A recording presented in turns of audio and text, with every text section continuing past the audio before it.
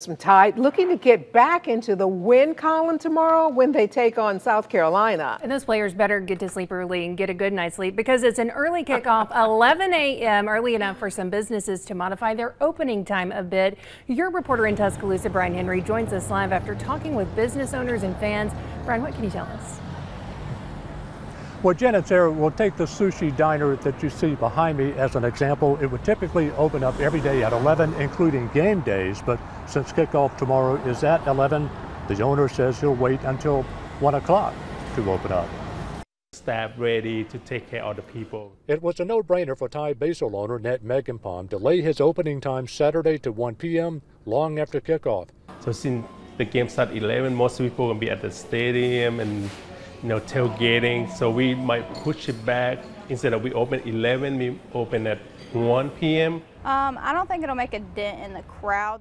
Christina Helveston had other ideas. Keep her 9 a.m. opening time the same because she has a different game plan for the Mediterranean Sandwich Company. We do. We do a breakfast menu instead of our normal menu. Um, we've been promoting that we're going to have a live band and stuff, so we're hoping that generates a larger crowd than normal. Thousands are in town for the Alabama South Carolina game. Folks like Russ Lloyd of Summerville, South Carolina. Even though the Tide hit a brick wall last week with its loss against Vanderbilt, Lloyd was blunt about Carolina's chances of upsetting the Tide. He's not counting on. Well, unfortunately, I think it's a bad time because, you know, I think they're going to be really angry after that loss to Vanderbilt. So we're hoping, you know, we're hoping to look a whole lot better than we did against Ole Miss. We think we're a better football team than we showed last Saturday.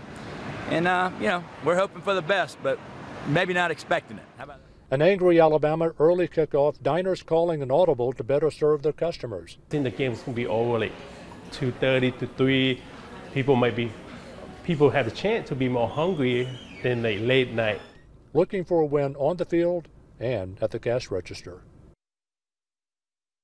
Nat Meganpalm says when Alabama played Georgia here about three weeks ago here at home, he said he had the best weekend in terms of business in 10 years. Your reporter in Tuscaloosa, Brian Henry, WBRC 6 News, on your side.